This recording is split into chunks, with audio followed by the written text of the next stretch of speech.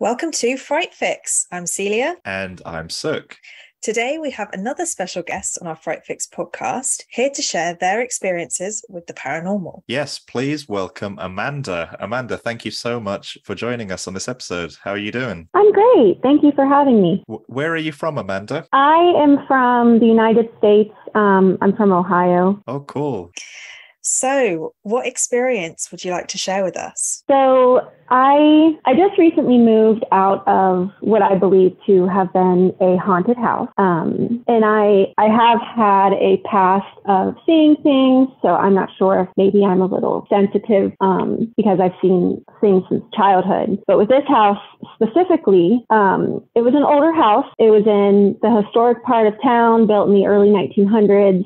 Beautiful house. Everything was hand carved, and it, it was just a dream. And one of my favorite parts of the house was the attic. It was just floor to ceiling wood in different patterns, and being in it made it it made you feel like you're like in a log cabin. Um, it's very peaceful, and I, I loved it and uh, spent as much time as I could up there. But I don't think I was by myself when I was up there. So we, when we first moved in, um, we noticed that the house was noisy, and I had never lived in a house that old. And you know, talking to family, they said it's probably the house settling, or you know, there wasn't any insulation in the house, so the walls are are noisy and it's noisy outside. Um, and I always have music on. Was the house in the city or in like the countryside? It was in the outskirts of the city. So it felt country, but if you walked to the end of the street, you were in the city. So it was peaceful, but close enough to everything if you wanted, um, you know, to walk to a restaurant or, or something. They had cute little restaurants down in town. But um, I I always have music on because um, I have an uh, issue with my ears ringing, so I don't like listening to dead silence. But um,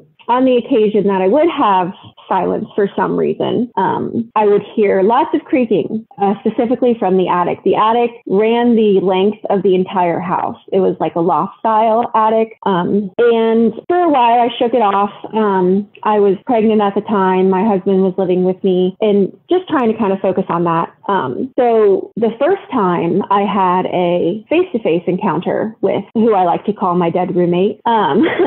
Was it was a it was a spring day. Um, I remember it just being gorgeous outside and not knowing how much you know about Ohio. We get maybe seven nice days a year. Um, it's like England. That's just like England. the UK. Yeah, there we go.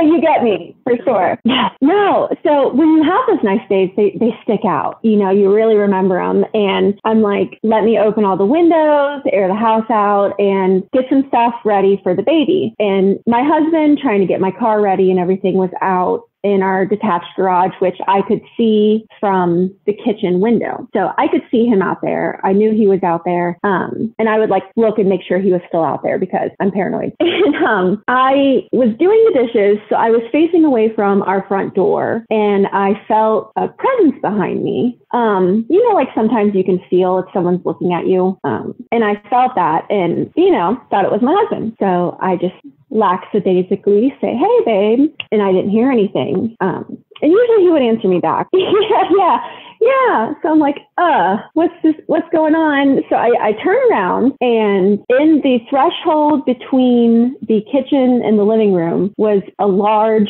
at least six foot, a large black figure. Oh my gosh. Um, Holy crap. It, it was scary. Uh, I blinked my eyes and he was gone. Um, and of course I'm assuming it's, it's a he. It just, it, it gave off male energy to me. Um, and turn around knowing that if there is somebody in my house, uh, I'm very largely pregnant and I'm not about to fight them. So I yell out the window for my husband, who is still in the garage. Um, and he comes in and I'm like, oh my gosh, there's somebody in the house and God love him. Um, this is not the first time I have sent him on a ghost hunt thinking that it was a real person.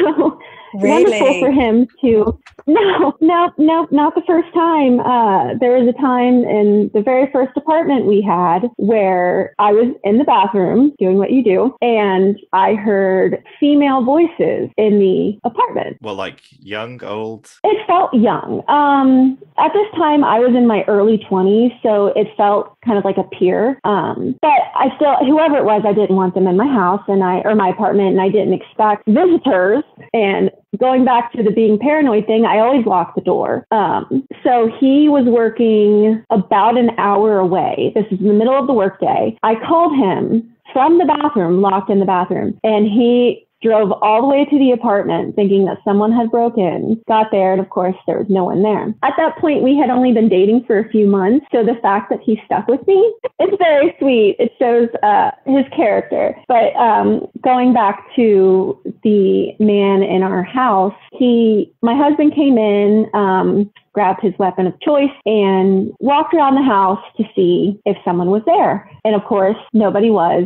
Um, and he was very sweet about it. You know, he didn't accuse me of being crazy or anything. Um, so we, we moved on and it seems like that interaction really amped up the activity in the home. Now, um, my husband never saw him, never saw the dead roommate. Um, he, it, it's not that he's a non-believer, but he's he's indifferent with it, and I'm very much a believer. And sometimes I feel like if you believe in it, they'll show you, they'll show themselves to you. Um, and I would see him every now and then um, out of the corner of my eye, or you know, I would just blink and he'd be in the corner of a room. But more than anything, I would be sitting in the living room, and the stairs that went up to the attic were in the living room, and I would see him peeking his head like from the top of the door, very tall. And I'm talking the top of the door frame. Did it feel um w- were you scared or like did it feel threatening or At the beginning, I because I didn't really know, I was scared, but as time went on, I wasn't scared of him anymore. Um more interested because I felt like he was interested in me. He, Hmm. you know, why else would he have kept peeking? He's a curious kind of spirit, spirit rather than a malignant spirit. Exactly. And you you know,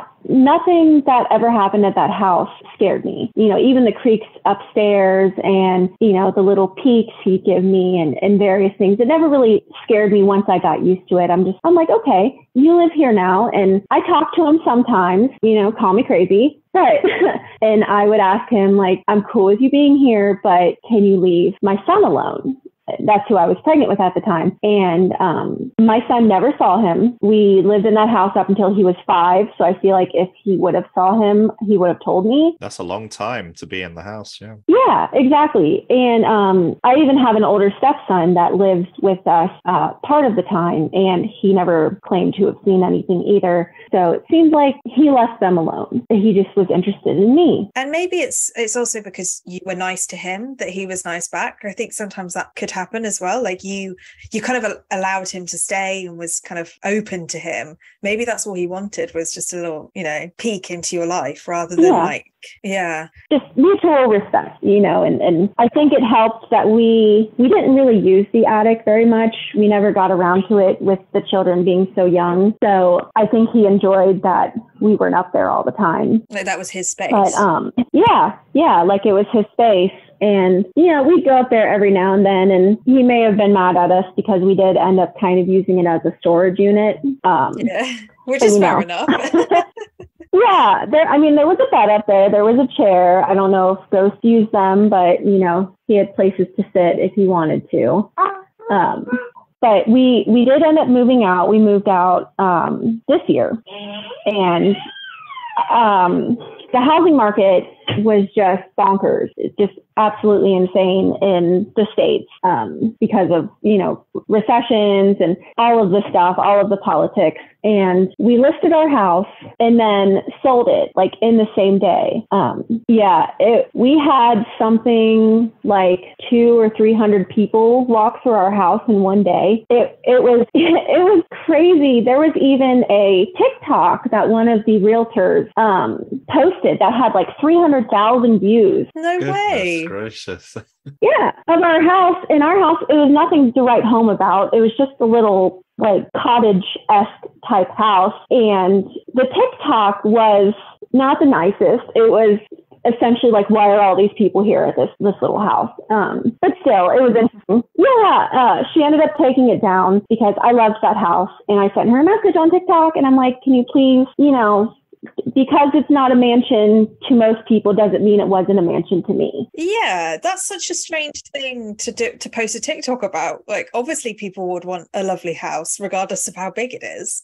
Well, and it's perfect for a small family, and that's that's who ended up buying it was a, a young couple who you know they're engaged and they're they're going to I, I would assume start a family there. Um, so it's perfect for that stage, and you know we we had to upsize because we went from having one to three children, and we needed more room. yeah, so so we we put the house up for sale, and you know, we were getting this information from the realtor because you know they they look at house prices um, in the neighborhood to see what would be an appropriate listing. And one of the previous owners had the same last name as our current neighbor, just the grumpiest, meanest old man. Um, he was. He was. We shared a driveway and um, he was just, if anyone was going to have something hidden in their basement that you didn't want to know about, it would have been him. Um, it would have been him. Yeah, just bad vibes, bad vibes. He liked me.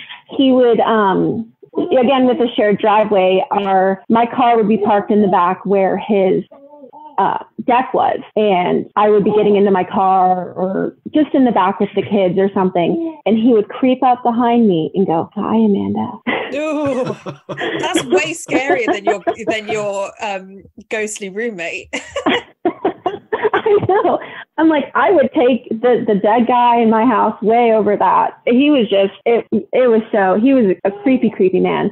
But anyways, we did find out that the houses, which makes sense with the shared driveway, were built by a brother and a sister. And the layout is interesting because the houses kind of mirror each other. Um, and they're near identical. And I don't know why I didn't put two and two together sooner. Um, but the the sister owned the creepy neighbor's house, and that was her son and the uncle owned our house that we lived in. And the attic was his favorite place. And oh. you know yeah which definitely confirmed my suspicions that whoever our dead roommate was was a nice man you know no malicious intent he was just curious and I don't know exactly when he died. I know there had been other tenants between him and us because at one point our home was a rental unit. Um, and I, I wonder if they met him and I know that's not something that a realtor is going to tell you. And I'm sure the statute of limitations has passed on that death. Because um, I think in the States, it's if someone died within three years, they have to disclose it. I'm interested to see, unfortunately, we don't have, you know, a close relationship. They're strangers with the new owners. Um, it's just a text every now and then saying, I have your package. Um, when I forget to change the address. But I wonder if if they've met him, if they've seen him. And it, I'm sad for him. You know, I'm hoping he's being treated with respect. Um, or maybe he won't even show himself. You know, I don't, I don't know how it all works in ghost world. Yeah. Yeah. Maybe it's, it's the energy that you gave off that that allowed him to kind of show himself um and maybe they have the same yeah. energy or maybe they don't you know? It's uh yeah it's always hard to hard to tell. It's hard to tell and a very weird question to ask somebody you don't know is like oh by the way have you met the ghost upstairs and also you know you don't know how they would react to that either. They might say you're really freaking me out you know now i'm getting scared or they would say actually yes. Yeah I, I, would keep an eye on that house and uh, any future listings that may come up in that area just in case that suddenly does go back on the market again. That yes that that would be very interesting and if they did sell it then i might reach out on facebook and be like now that you're out uh was it haunted well and it's it's strange i don't know if he is particularly in tune with women. Um, but of course, like I said, my kids, my husband, no one ever saw anything.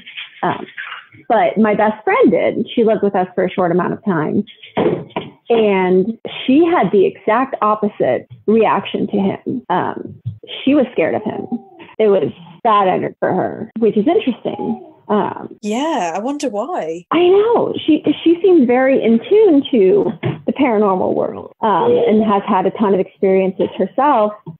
And I was thinking, you know, maybe he's just territorial, or maybe there's something about her he doesn't like. Um, but I, I thought that was fascinating. It was to the point where you know, she she moved in with us um, kind of as a last resort. But before then, there were times she didn't want to be at my house at night because wow. she was so creeped out. Did she did she see the same thing as you? And had you guys discussed it beforehand? We we had discussed it. I had told her um, because with her being so open to the par- paranormal, she was an accepting person who wouldn't, you know, think that I'm losing it because I believe in all of this. Um, but I I don't recall if she had ever seen anything. I know when she lived with us, um, I believe she told me she had a nightmare of a black figure standing at the end of her bed, um, kind of like a lucid dream where you can't tell so much if it's real or not. Um, but who knows if it was him? Uh, she was in. She wasn't in the attic. Um, so I don't see, you know, why he would be mad about her being in the basement unless it's somebody else. But as far as I had observed in that house, he was the only presence that I knew of. So I guess maybe he just was territorial. I don't know. Apologies if I misunderstood something you said earlier on.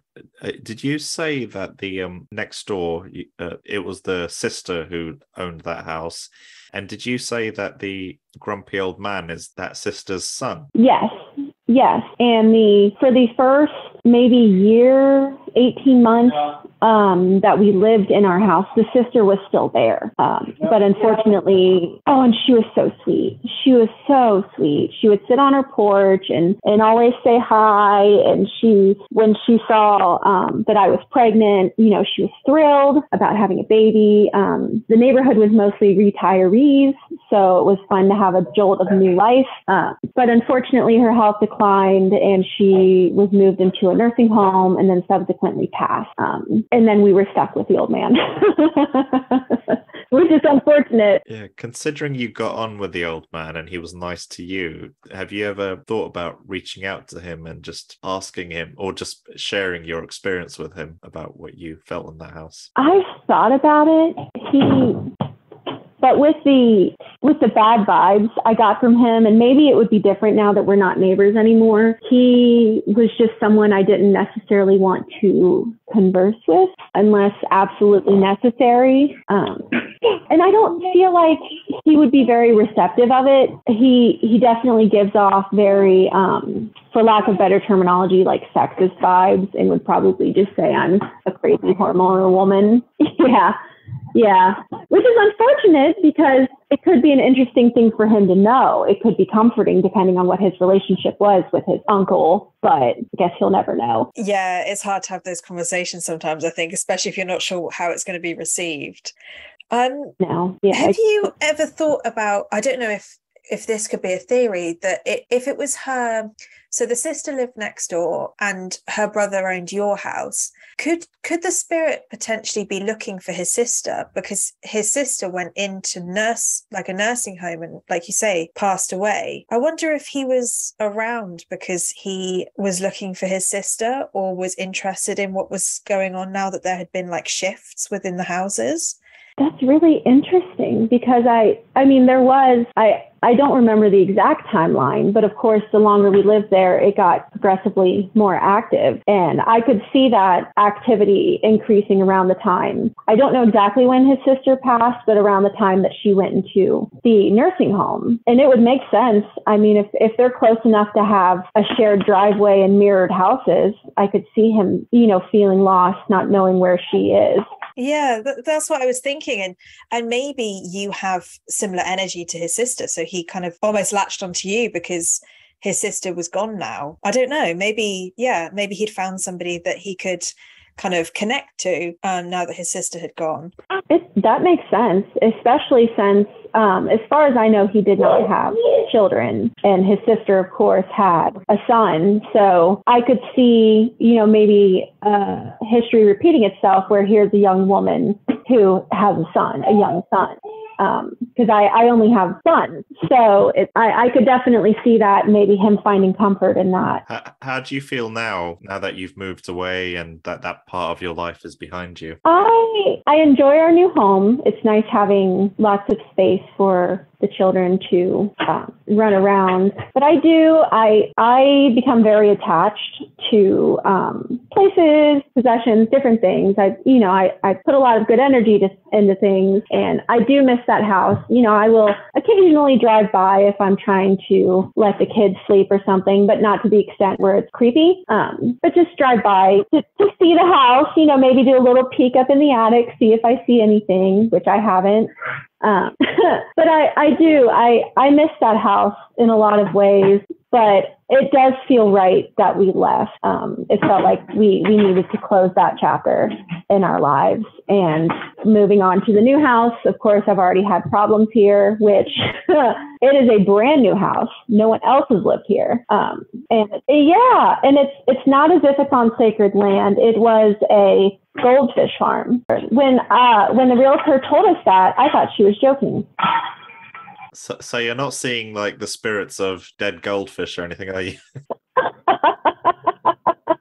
I wish that would be so cool, but no, I I haven't, and it is funny because of course they they named some of the roads goldfish and some of the roads marigold, and and because I like to do research, I did research it, and it legitimately was a goldfish and marigold farm. And I'm like, did they just throw a dart and they're like, I'm going to farm those two things? Um,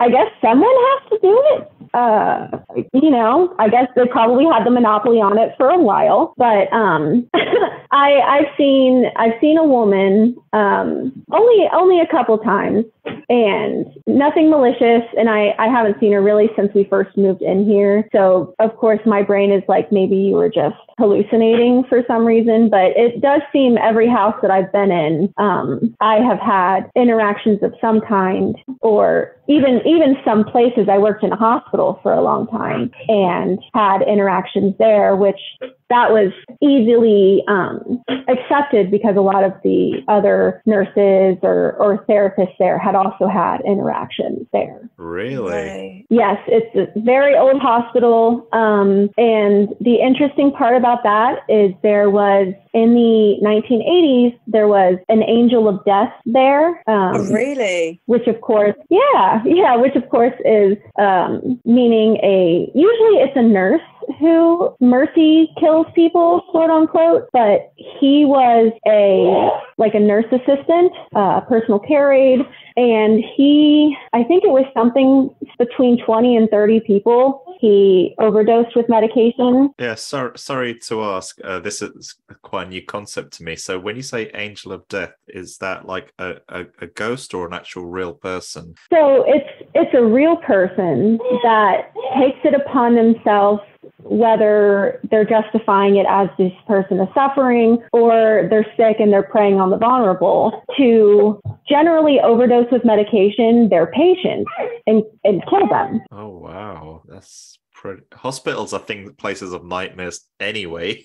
yeah. and, and it's more, uh, it's more common than we think. Like, obviously, it's not common, but I've heard so many stories of kind of angels of death which yes it's it's terrifying because of course these people i worked in a long-term rehab so the vast majority of these patients he would have had would have been on ventilators. They would have been, you know, severely disabled, whether it's heart problems or um, a lot of people with traumatic brain injuries or spinal cord injuries. So these people are at the most vulnerable they've probably ever been. And this man took it upon himself to end their life when, if they're in a rehab facility, they weren't in hospice. They're in a rehab facility. Not that hospice would warrant it, but I would imagine these people at least had some chance of making a recovery. Otherwise, they wouldn't be in a rehab facility. So he, it's it's interesting. My mother was a paramedic in the 80s, and she had actually transferred patients to this hospital. Um, so she knew a good amount about it. But he he's in jail now. Um, or I don't know if he's still alive, but I know he went to jail for it um, after being discovered. And that hospital, he he worked on the third floor. There was four floors, and there's one room where one of his victims were that nearly every single week there was a code blue called in that room. What does that mean? Yeah, when they when somebody's essentially dying, right? Yeah, yeah, yeah, exactly. I don't know. Uh, I know terminology can change hospital to hospital. I don't know if it changed in different countries.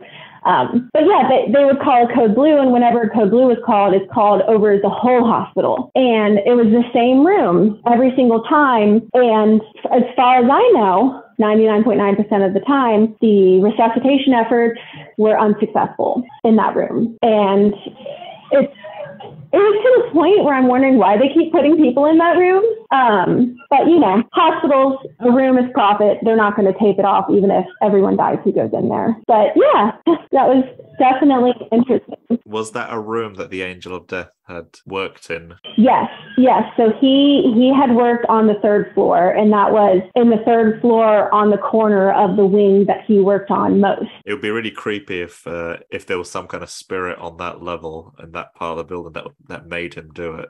It it, makes you wonder because it is a very very old hospital, very very old, and it had gone through you know at one point being a tuberculosis unit where I'm sure thousands of people passed, or at least hundreds of people passed. It's a very large hospital. Um, and there was definitely activity on the higher floors. The fourth floor was the hospice of that hospital. Um, and I believe it was the hospice all the time. And when I had my son, um, I was pumping breast milk and they gave you a designated room I worked on the first floor. The designated room was on the fourth floor in the hospice unit. And it was terrifying. It was absolutely terrifying because I was almost always in there by myself.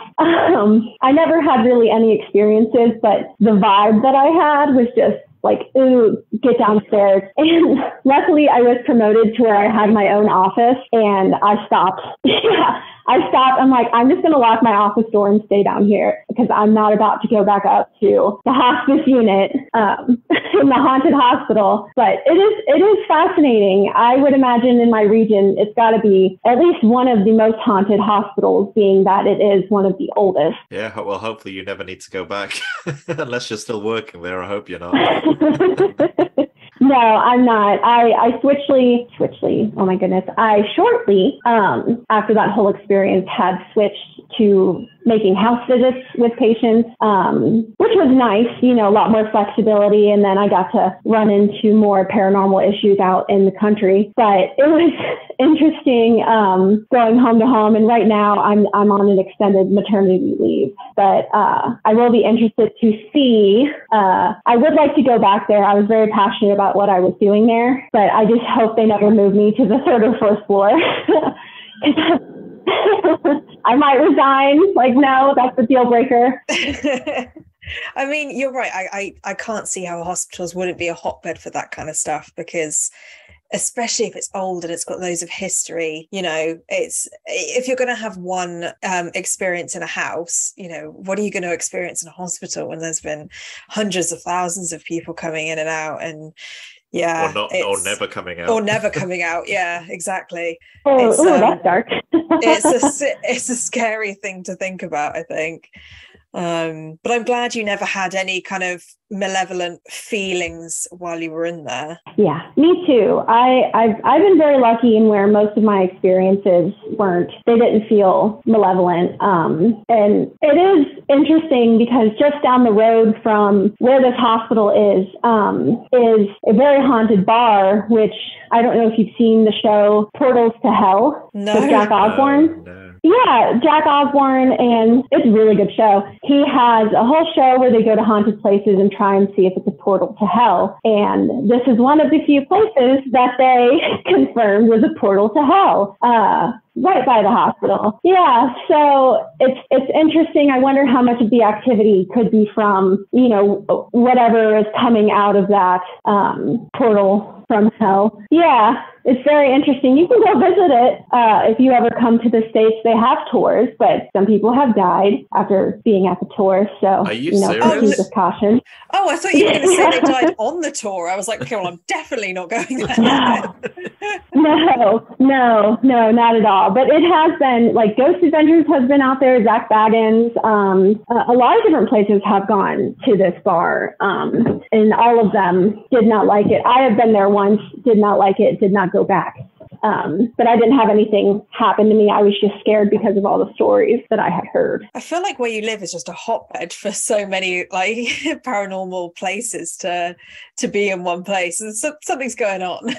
Yeah, it's like a junction. Uh, It's interesting, and and we're right next to a very large river. And I know some people believe, you know, large bodies of water can help be a conductor or, or conducive to paranormal activity. So I don't know, maybe that. Um, there's, I mean, there's one story from my childhood, but I don't know if it would be interesting. It was um, me uh, running into a ghost on the road three times. really? What the same Uh, ghost on the same road?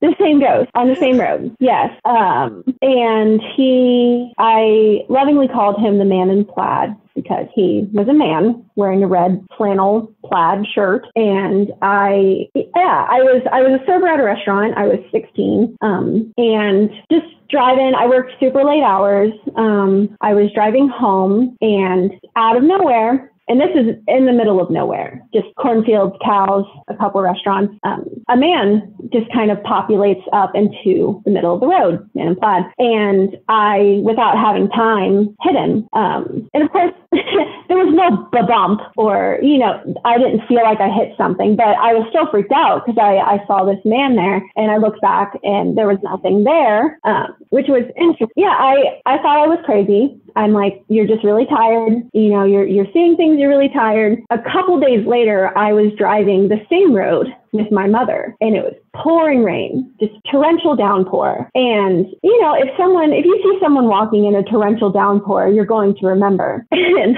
up the side of the road, going up the hill, my mother and I both saw same man, same red plaid shirt, walking up the hill in torrential rain. And was that the same place he was the, the last time? It was on the same road. It was um, fairly close to where it was, and um, and she saw him too. So because I asked her, I'm like, "Did you see that?" And she's like, "Yeah, that's really weird." Because I I had not told her at that point um, what I had saw a few days before. Because I'm like, she won't believe me. and and she saw the same red plaid shirt. Yes, same guy, same guy. Um, and of course, we looked back in the rearview mirror. I was driving, looked back in the rearview mirror, and he was gone. And unless he decided to jump into the cornfield, I don't know where he would have gone. Um, which why would you do that? We've all seen Children of the Corn. Don't go in there. Um, don't go in there. No.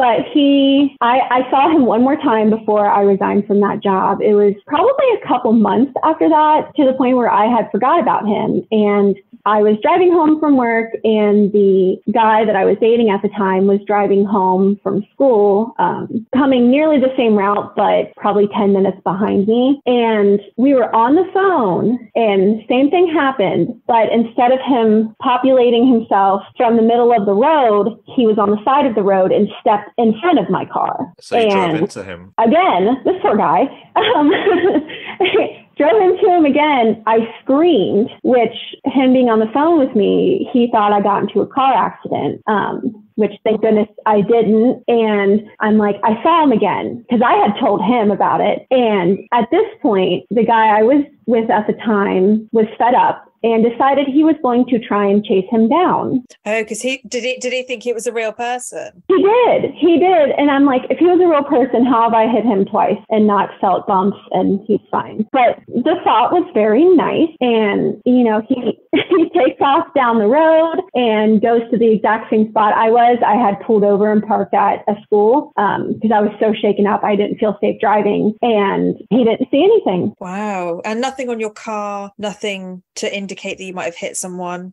No, nothing, nothing at all. And it was a road close to my hometown and talking to some friends of mine, it, and people who frequented the place that I had worked, some of them had seen the same thing uh, a man in a red flannel shirt on the side of the road. And and did anybody else say that he'd been stepping out in front of cars? Because it seems like he he's almost either wanting to be hit by the car or is recreating like what happened to him that he was hit by a car? Yes, there were. And it seemed like he targeted young females because other people had seen him. Um, I worked with some, some older women that had seen him on the side of the road, much like myself and my mother did. But the very young girls, you know, the girls 16, 17, 18, close to my age, were the ones who had had this experience. Um, and it was most of them, you know, I was the first to bring it up, elephant in the room. Most of them had had this experience at least once, but didn't say anything because they were like,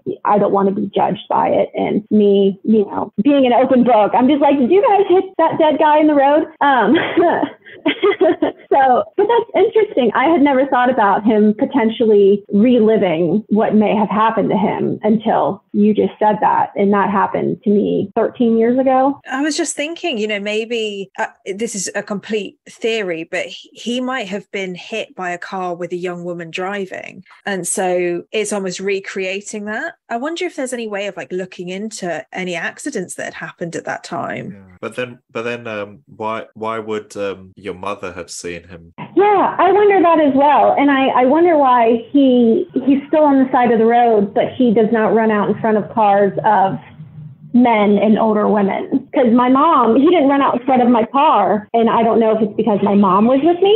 Um, and that doesn't recreate the exact situation. Yeah, the conditions weren't right. So, no, no, he was still there and walking in the rain of all places but that area, like like you had said before, this whole area is um, very notorious for paranormal activity. Um, I mean that the place that I worked is three miles from a place called Dead Man's Corner.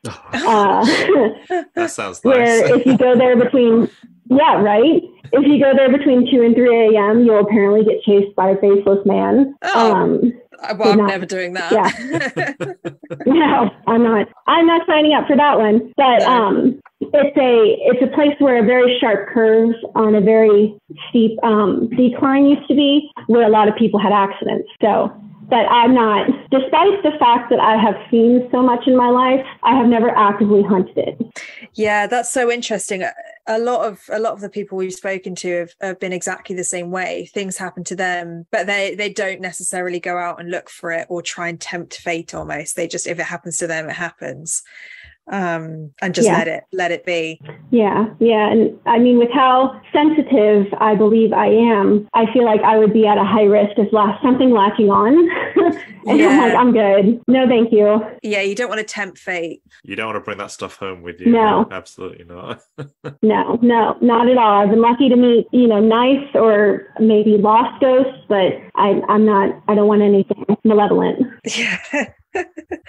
oh, amazing! Excellent. Well, thank you so much for your time, Amanda. It means the means the world having you on as our guest. It's, I've been uh, I've been gripped by your three stories. Oh well, thank you so much for having me. No, honestly, that was brilliant. It was so good to hear your stories and like it's just been really interesting across the episodes that we've done how different the stories are but also how similar some of the reactions to to to ghosts have been like just letting it happen like i was saying or just you know not having that kind of bad energy around it that a lot of people think ghosts are. Um it's kind of been quite eye-opening for us as well to see the different types of spirits that people may may encounter yeah, I, I agree. I think if people are more open to the fact there may just be lost souls out in the world, it's not nearly as scary as media portrays it. Yeah, that's a good message, a good message to end on.